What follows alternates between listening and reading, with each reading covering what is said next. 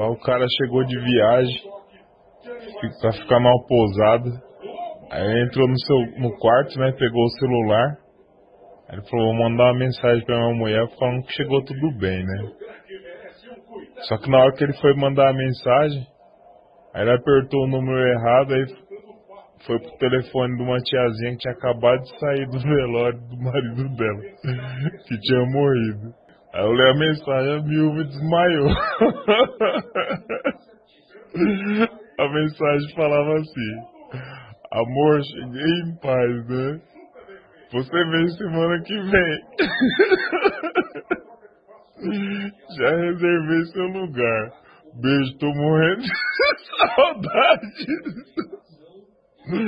Traz pouca roupa, porque aqui tá um calor dos infernos.